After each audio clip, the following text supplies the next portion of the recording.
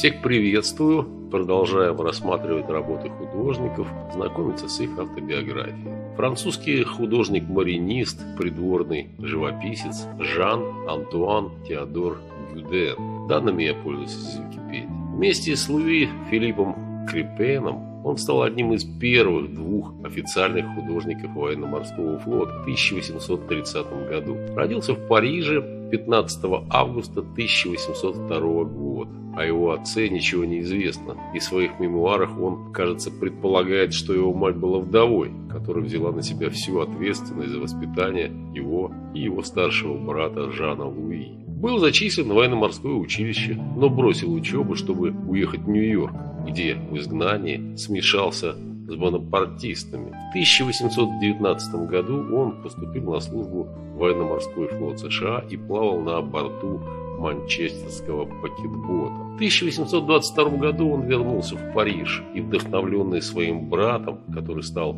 учеником Горация Верне, решил продолжить карьеру в искусстве. Нашел работу в мастерской Луи Жираде. В том же году он дебютировал в салоне. В следующем году он и его брат попали в кораблекрушение на Сене, из которого он спасся. Однако его брат утонул, и это глубоко повлияло на него на всю оставшуюся жизнь. В 1824 году он провел еще одну выставку в салоне и заручился поддержкой будущего короля Луи Филиппа I, представив картину с изображением корабля, на котором он отправился с визитом в Америку. В 1828 году король Карл X поручил ему написать портрет Энсина Ипполита Бессона, который взорвал свой корабль вместо того, чтобы сдать его пиратам. Дэн отправился для участия в алжирской экспедиции, где он сделал множество зарисовок. По возвращении был назначен морским пехотинцем в кавычках при дворе Луи Филиппа. В течение следующих нескольких лет он совершал живописные поездки в Италию, Швейцарию и Россию.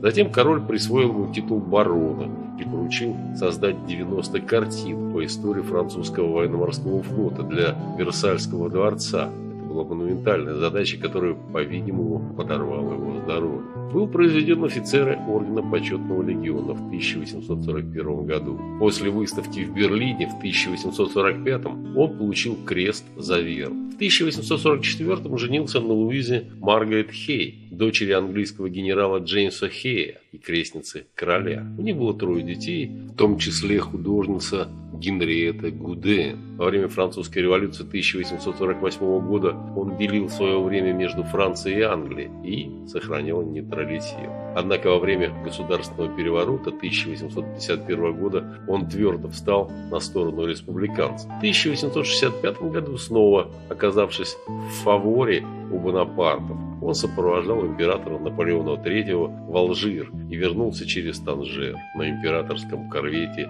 Гортенс. Занимал пост вице-президента Центрального общества наук. После падения империи в 1870 году отправился в добровольное изгнание в Англию. Смог вернуться во Францию в 1879 после смерти Луи Наполеона Бонапарта умер в 1880 году. На протяжении своей долгой и плодотворной жизни Дэн наполнял своими впечатляющими работами многочисленные европейские коллекции и галереи, чьи репродукции до сих пор ценятся за их высокое качество. Его работы представлены почти во всех европейских национальных галереях, особенно в Париже, Лондоне и Москве, а с 1845 года также в Берлинской национальной галерее. Ну вот так вкратце из приводной Википедии о французском художнике-маринисте, придворном живописце Жан-Антуан Теодор Гюде. Пока-пока, до свидания, смотрим работу.